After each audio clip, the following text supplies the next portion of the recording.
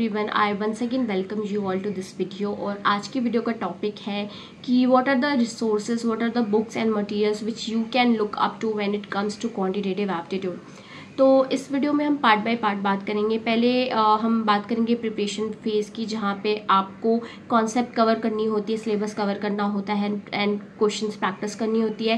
Then second phase आता है जहाँ पे आपने सिलेबस कंप्लीट कर लिया है। Now it's about practicing more and more जिसमें मॉक्स एंड पी आते हैं।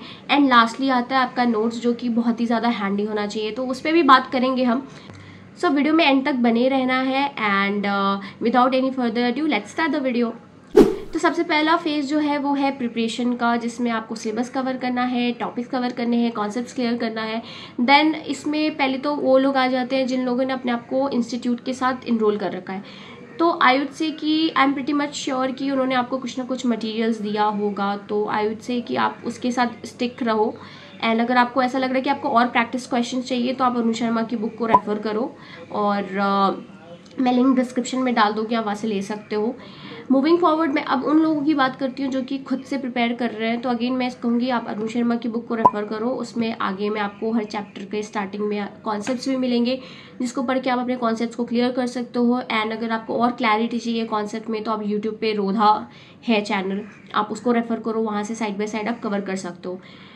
एंड क्वेश्चन प्रैक्टिस की बारी आती है तो indeed Arun Sharma is a very good book क्योंकि उसमें आपको एन नंबर ऑफ़ क्वेश्चंस मिलेंगे L O D one L O D two L O D three तो हर एल ओ डी में आपको कम से कम भी सत्तर, अस्सी, नब्बे, सौ ऐसे क्वेश्चन मिलते हैं. सो क्वेश्चंस की कमी नहीं है प्रैक्टिस करने के लिए. इस जस्ट दैट कि आपके पास टाइम होना चाहिए, उतना डिटर्मिनेशन होना चाहिए, उतनी कंसिस्टेंसी होनी चाहिए कि आप क्वेश्चंस अच्छे like good amount of question solve करके जा रहे हो, ताकि आपके कॉन्सेप्ट अच्छे से क्लियर हो जाए. ठीक है तो ये तो था कि आपको कैसे प्रिपेयर करना है, कहाँ से प्रिपेयर करना है एंड सिलेबस कैसे कवर करना है। अब बात करते हैं कि बस जब एक बार आपका सिलेबस कवर हो जाता है देन आपको क्या करना चाहिए? दो चीज़ है जिस पे आपको फोकस करनी है। First is your mocks and second is your P Y Qs तो पी वाई क्यूज़ की बात करते हैं पहले तो मैं तो यही कहूँगी कि पिछले दस साल का या फिर ट्वेंट पच्चीस साल का। वो आप देख लो कि आपको कौन सा करना है। बट आई वुड से कि 25 साल का करोगे तो आपके पास एक अच्छा चंक ऑफ़ क्वेश्चंस होगा। वैरायटी ऑफ़ क्वेश्चंस भी होंगे एंड शायद आपको और ज़्यादा क्लैरिटी मिलेगी ऑन कैट एग्जामिनेशंस अदरवाइज़ अगर इफ़ यू वांट तो आप दस साल वाला भी कर सकते हो। सो आई वुड से कि ऑसवाल की बुक सही रहेगी क्योंकि आपको uh, दो बुक्स आती है एक पच्चीस twenty five years P Y Q की आती है एक ten years P Y Q की आती है।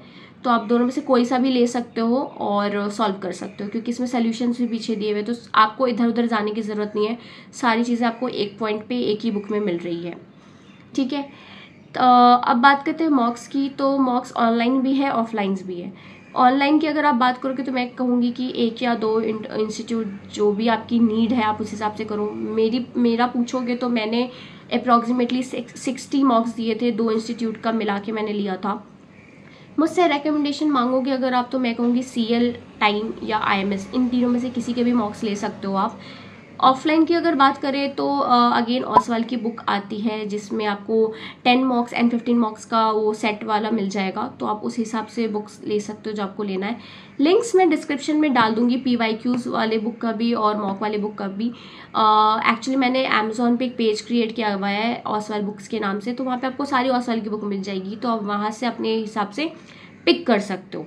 ठीक है।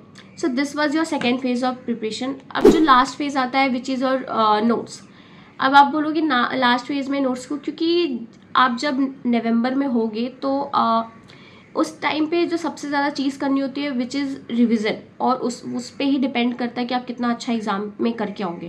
क्योंकि अब नवंबर में यू कॉन्ट एक्सपेक्ट कि आप कोई नया कॉन्सेप्ट पढ़ोगे या कुछ मॉक्स uh, वगैरह करोगे.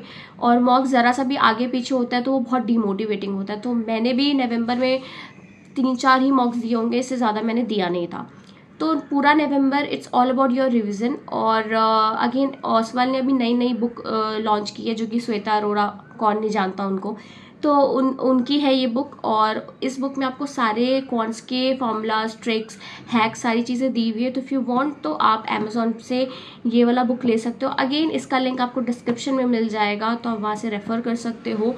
एंड सो या that's all for this video I think मैंने uh, सारी मेजर बुक्स एंड मटेरियल्स के बारे में बात कर दी है.